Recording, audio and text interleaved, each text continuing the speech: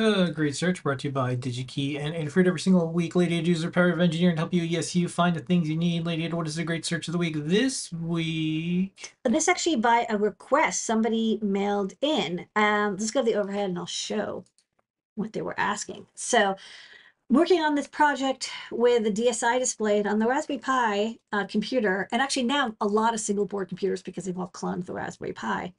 There are these connectors, the DSI, the display uh, connector, and then the CSI camera um, interface. And one thing that definitely happens, even to me, I'm very careful, is the clip comes out of the connector. And then if the clip comes out, the retaining clip, you can't use it.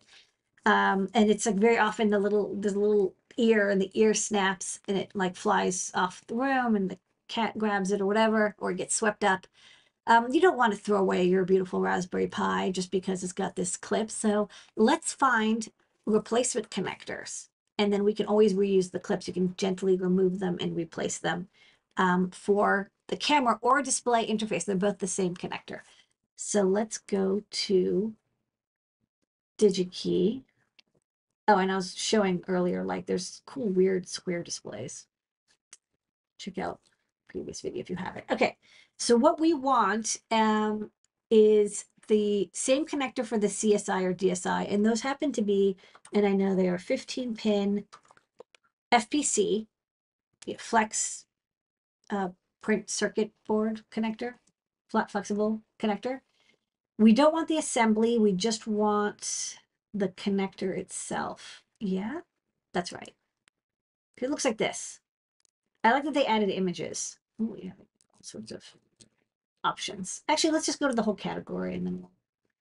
Um, okay, so contacts. I think we want the one that has like 19,000 available. Let's see. Yeah, so this is now we're talking. Yeah, there's different configurations and pitches and pinouts. Okay.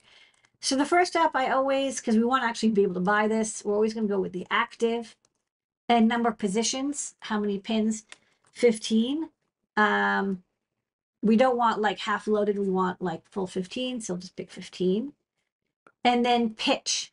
Um, for this, you know, you have to know what the pitch is. You can use your handy calipers to measure the distance between the pins. There are standard sizes, but like 99% of the time, it's going to be either 0.5 millimeter or one millimeter. Once in a while, there's others, but it's super duper rare. If it's like very close together, it's almost certainly 0.5. And if it's a little farther apart, it's one. And if it's alternating, it's like sometimes 0.3. Um, but it's this one in particular is going to be one. Oh, and then once in a rare while, it's 0.1 inch, like really fat. Those are old, old style. Next up, do we want surface mount or through hole? Well, on the Raspberry Pi, it's a surface mount connector. So you want surface mount and also grab the dash because it could be there's some that aren't aren't uh, aren't uh, categorized. And let's also say only in stock because we want to, we want to be able to purchase this today. So this is what we got so far. Whenever I have like, you know, a couple dozen, that's when I start looking and I'm like, okay, what would we have? Okay, these are starting to look good. One thing is, is that the, um, for the board I'm designing, I wanted a right angle. So, you know, it sticks out to the side. But for the Raspberry Pi, if you want to replace the connector, it's a sticking up style, which is, um, and you can always see what you, you know, you're like, oh, this is the style I want. And then look to see um, the mounting type. So that's surface mount, non-right angle. So let's go to surface mount, not right angle. Okay, so only 10 options. So now we're now we're really talking. Okay, so then you can see that the, you know there's a lot still a lot of options. One thing is that some of these connectors you see they don't have a retaining clip. You can see the retaining clip here and here. It's a little piece that you pull out and then it it kind of jams the cable in place. Make sure it doesn't pull out too easily. Which, you know, depending on some, some designs, you want the cable to be able to pull out very easily so the cable doesn't get damaged. Um, and it's easy to insert. But in this particular case, we want it to have the retaining clip. So if we look, um, this is called a slide lock. So these two here are slide lock. This, see, it looks like it has a slide lock, but I guess it doesn't. So we're going to go with slide lock. Okay.